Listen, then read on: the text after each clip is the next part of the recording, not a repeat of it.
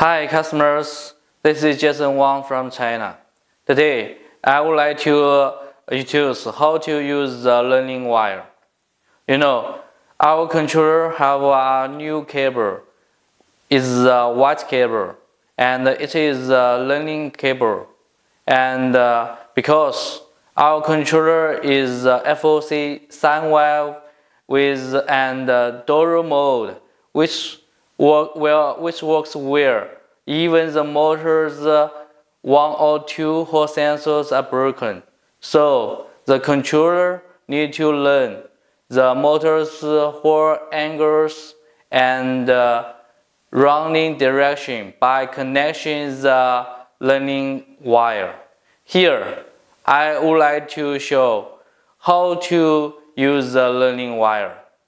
Okay, firstly, we need to the pull on the display and press to the five levers. And secondly, we, we just connect the white cable and you will see the motor is uh, running backwards. So we disconnect and connect again.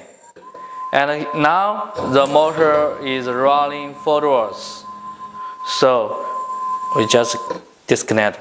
And now we, we can just press the throttle to the master speed.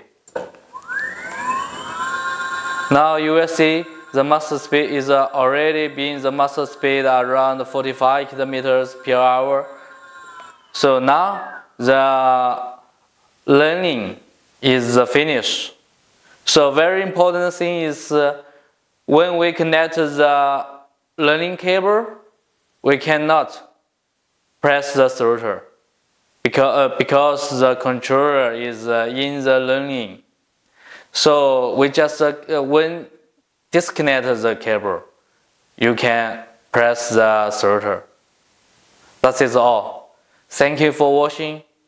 Thank you. Bye bye.